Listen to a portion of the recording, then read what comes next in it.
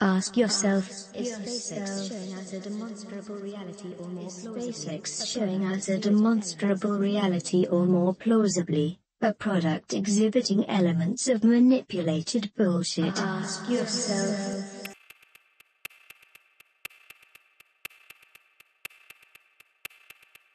At that point, uh, or at this point, with a successful landing of the first stage, uh, we'll be ending today's webcast. It was a very smooth countdown. Everything proceeded nominally.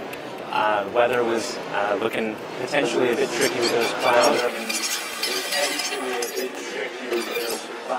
Mission and start, uh, and then that beautiful landing that you just saw. So we'd like to thank the Air Force Space Mission and support.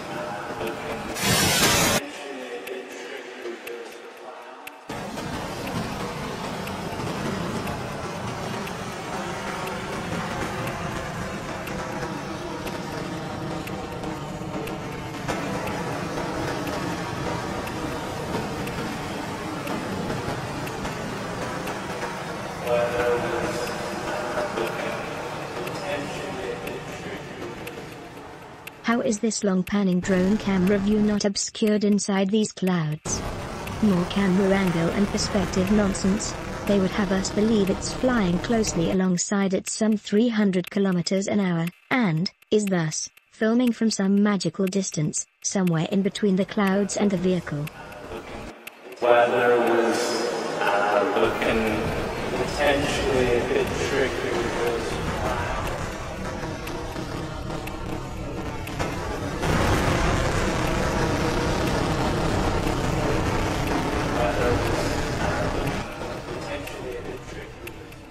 13 minutes 8 seconds into launch. The vehicle leaves this ground-based camera view at a height of 400 meters. The camera is thus, at an angle looking up to the vehicle as it leaves this reference frame. The next camera view shows this enormous low-hanging cloud bank. At the same 400 meter mark. And it should be blatantly obvious that the previous camera angle, should have captured the underside of this overwhelming feature in the background.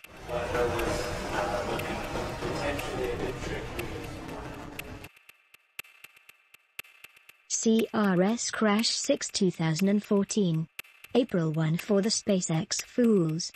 Please note those mighty nitrogen cold gas thrusters here, spurting away to no avail.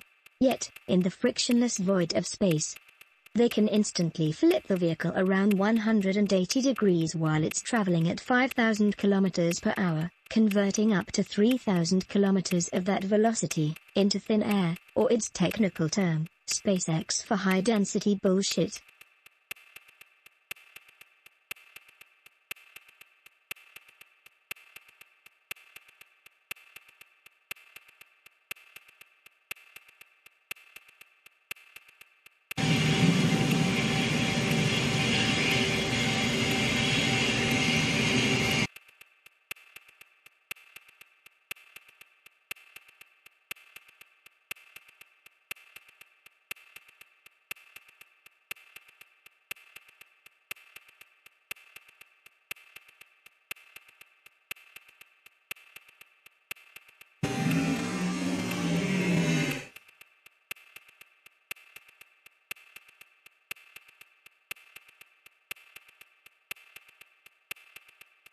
To use the term, arguably, this has to be one of the worst pieces of utterly contrived nonsense ever perpetrated by SpaceX.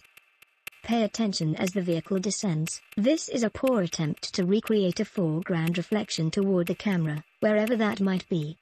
The vehicle's perspective appears to be slightly off, just too far forward.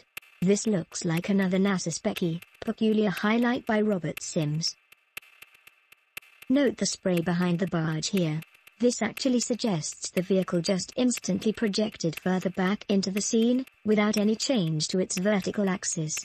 The candle can be seen jiggling to and fro without much, if any effect in the top half of the screen. Then an overcompensation in the lower half and the familiar, so sad, simp, pathetic crescendo. Study the next few images. Arguably, most landing events staged by SpaceX all seem to exhibit elements of very subtle, but purposefully distorted depth perception, or poor camera choice trickery, conducive to integrating contrived compositions. Ironically, the anomalies always manifest a clear element of doubt about the true nature of SpaceX. What pisses me off more than anything else that they claim. It's this absurd notion that the moment this flame, here, which they essentially produce by burning a cheap kerosene, oil of all things, could never burn so hot as to turn seawater into steam instantly.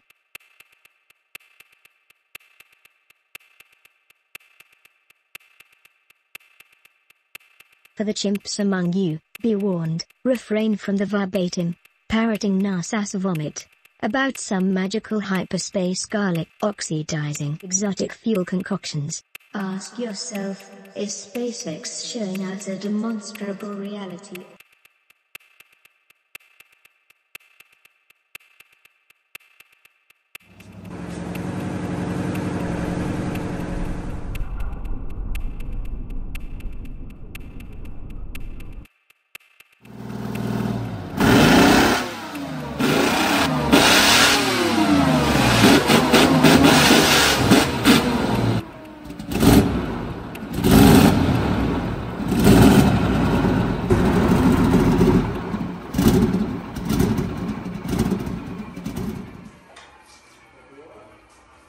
I can't believe how good that is. I'm disappointed really, I was looking forward to blowing it up. Yeah, well, we'll have to try and blow another one up in another video. we all thought it was going to run away and explode. We were all wrong.